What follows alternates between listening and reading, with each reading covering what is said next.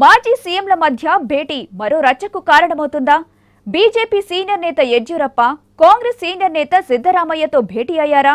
అసలు కన్నడ నాట ఏం జరుగుతుంది? లెట్స్ వాచ్ కర్ణాటక రాజకీయం అనూహ్య మలుపు తిరగనుందా? ఐటీ దాడుల నేపథ్యంలో యడియూరప్ప కమలానికి షాక్ ఇవ్వనున్నారా? కన్నడ నాట రాజకీయాలు రసకందాయంలో పడ్డాయా? చూద్దాం. కర్ణాటక మాజీ ముఖ్యమంత్రులు సిద్ధరామయ్య యడియూరప్ప రహస్యంగా భేటీ అయ్యారన్న వార్తలు ఆ రాష్ట్ర రాజకీయాల్లో దుమారం రేపాయి. అయితే ఈ ఊహాగానాలన్నీ అవాస్తవమని వారిద్దరూ తేల్చి చెప్పారు. మరో మాజీ సీఎం కుమారస్వామి వీరిద్దరూ భేటీ అయ్యారని వ్యాఖ్యానించడంతో రాజకీయంగా రచ్చ షురూ అయింది యడియూరప్ప సన్నిహితులపై ఐటీ దాడులకు ముడిపెడుతూ కుమారస్వామి వ్యాఖ్యలు చేయటంతో మరింత రసవత్తరంగా మారాయి.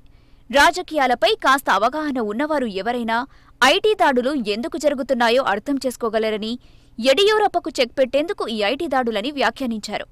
రాజకీయ పరిణామాలపై సిద్ధరామయ్య యడియూరప్ప మధ్య రహస్య భేటీ జరిగింది.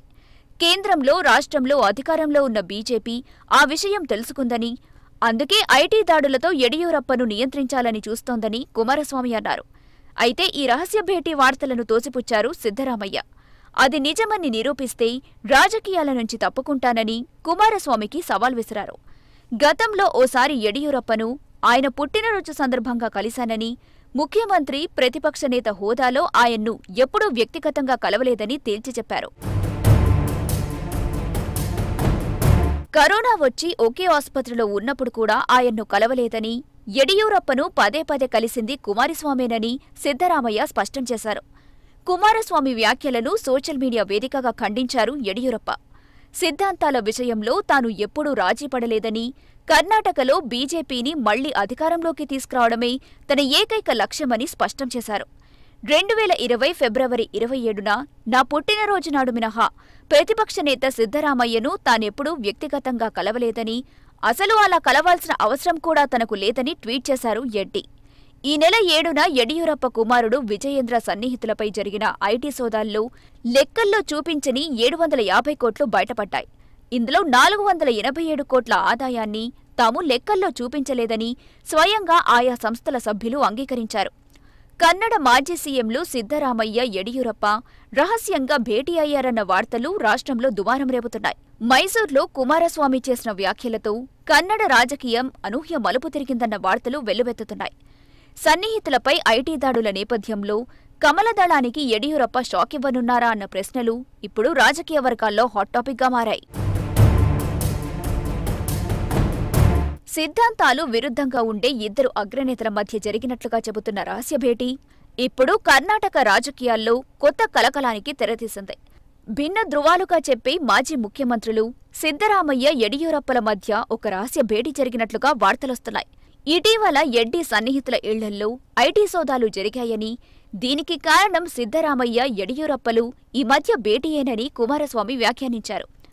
ఎడ్డి సీఎంగా ఉన్న వేళలో బీజేపీ అధినాయకత్వం ఆయన్ను తప్పించడం తెలిసిందే. సరైన కారణం లేకుండానే ఆయన్ను పక్కన పెట్టేసిన నేపథ్యంలో ఎడ్డీ ఆ విషయంలో గుర్రగా ఉన్నట్లు వార్తలొచ్చినా ఆయన మాత్రం మౌనంగానే ఉన్నారు. అందుకు భిన్నంగా తాజాగా కుమారస్వామి చేసిన ఆరోపణతో కర్ణాటక రాజకీయం ఒక్కసారిగా వేడెక్కింది. ఎడ్డీని నియంత్రించేందుకు వీలుగా ఐటీ సోదాలు జరిగినట్లుగా ప్రచారం సాగుతుంది. తాము రహస్య భేటీ అయ్యామన్న ఆరోపణల్ని ఇరువురు అగ్రనేతలు కొట్టిపారేశారు. ఒకవేళ తాము రహస్యంగా భేటీ అయితే రాజకీయాల నుంచి తప్పుకుంటామని సవాల్ విసిరారు. ఇదిలా ఉంటే ప్రతినిత్యం ఏదో ఒక విషయంలో విమర్శలు చేసుకుంటున్న కర్ణాటక మాజీ ముఖ్యమంత్రి సిద్ధరామయ్య ఆ రాష్ట్ర బీజేపీ శాఖాధ్యక్షుడు బిఎస్ యడియూరప్ప ఒకే చోట కలిసి ఒకరినొకరు ఉల్లాసంగా పలకరించుకున్న వీడియో ఇప్పుడు వైరల్గా మారింది. గతంలో మాజీ ముఖ్యమంత్రులు సిద్ధరామయ్య యడియూరప్పలు అనుకోకుండా ఒకే విమానంలో ప్రయాణించారు. ఈ సందర్భంగా భేటీ కావటంతో కొత్త రాజకీయాలకు తెరలేచిందా అంటూ చర్చ మొదలైంది. మాజీ ముఖ్యమంత్రులు సిద్ధరామయ్య యడియూరప్పల భేటీ కొత్త రాజకీయాలకు నాంది అంటూ కర్ణాటకలో చర్చ మొదలైంది. హబ్బళ్ళిలో జరుగుతున్న వేర్వేరు కార్యక్రమాలకు హాజరు కావడానికి మాజీ ముఖ్యమంత్రులు బిఎస్ యడియూరప్ప సిద్దరామయ్య ఒకే విమానంలో బెంగళూరు నుంచి హబ్బళ్ళి వెళ్ళారు. హబ్బళి ఎయిర్పోర్టులో ఇద్దరూ విమానం దిగిన సమయంలో ఒకరి గురించి ఒకరు వివరాలు తెలుసుకొని ముచ్చటగా చర్చించుకున్నారు. వేరే వేరే కార్యక్రమాలకు హాజరు కావాల్సిన మాజీ ముఖ్యమంత్రులు హబ్బళి ఎయిర్పోర్టు నుంచి వెళ్ళిపోయారు ఈ భేటీకి ముందే కాంగ్రెస్ పార్టీలు ఎప్పుడూ దళితులకు న్యాయం జరగలేదని అన్యాయం జరుగుతోందని మాజీ ముఖ్యమంత్రి బిఎస్ యడియూరప్ప ఆరోపించారు. అనంతరం భేటీ జరగటంతో ఏం చర్చించారని మీడియా యడియూరప్పను ప్రశ్నించగా ఈ విషయంపై సిద్ధరామయ్యను ప్రశ్నించాలని యడియూరప్ప చిన్నగా తప్పించుకున్నారు. ఇప్పుడు కుమారస్వామి వ్యాఖ్యల నేపథ్యంలో ఈ భేటీ వెలుగులోకొచ్చింది. అయితే ఇదేదో అనుకోకుండా జరిగినదే కాని ప్రణాళికాబద్ధంగా మాట్లాడుకోవాలని అనుకున్నది కాదని ఇరు నేతలు ఇప్పుడు స్పష్టం చేస్తున్నారు. ఇదిలా ఉంటే చివరి నిమిషం వరకు సీఎం పదవిలోనే ఉంటానన్న యడియూరప్ప అధిష్టానం సూచనలతో రాజీనామా చేయాల్సొచ్చింది. ఎడ్డి రాజీనామాను ఆమోదించిన హైకమాండ్ కేవలం వయసు నిబంధన ఆధారంగానే తప్పించాల్సి వచ్చిందని ఆయన నాయకత్వంపై ఎలాంటి వ్యతిరేకత లేదని స్పష్టం చేసింది.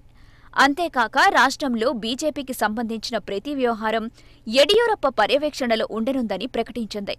ఎడ్డీకి వ్యతిరేకంగా ఎందరో ఢిల్లీలో ఫిర్యాదులు చేసినా వాటిని పట్టించుకోకుండా సన్నిహితుడికే నాయకత్వ బాధ్యత అప్పగించడం గమనార్హం. రాజీనామా అనంతరం కుమారులతో కలిసి ఢిల్లీకి వెళ్ళి బీజేపీ పెద్దలను ఎడ్డి కలిశారు. అయితే శక్తివంతమైన లింగాయత్ సామాజిక వర్గానికి చెందిన యడియూరప్పకు ఇప్పటికే ప్రజాబలముంది.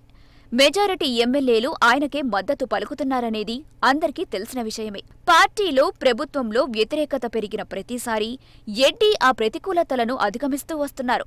దీంతో తన వ్యక్తిగత పలుకుబడి ప్రజాబలం ముందు వ్యతిరేకత ప్రభావం నామమాత్రమేనని విశ్లేషకులు చెబుతున్నారు. కర్ణాటకలో లింగాయత్లు రాజకీయంగా ఆర్థికంగా అత్యంత శక్తివంతమైన వర్గం.